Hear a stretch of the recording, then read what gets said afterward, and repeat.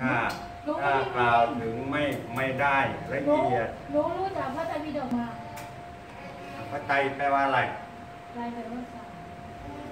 ปิฎกแปลอะไรปิฎกแปลว่าสาระหัวข้อนั่นแหละไตรแปลว่าสามมีใครบ้างแล้วก็คือธรรมสมได้ไหนนะนี่มันตื้น บอกว่าท่านน่ะเป็นเหมือนพระโพธิสัตว์อะหนูดูการกระทอ๋อำแต่อ๋อจิตอันนั้นมีขอันนานั้ดนหนึ่งจิตจะสาจะมารถจะจะเอาผมไปเปรียบเทียบเลย ไม่ใช่ ผมไม่เป็นพเดี๋ยระวโพธิจะสัตว์ฟังหนูพูดไม่จบหมายถึงนั่งนั่งนั่งนั่งขนาดจิตหนึ่งจิตของเราเปลี่ยนได้ขึ้นลง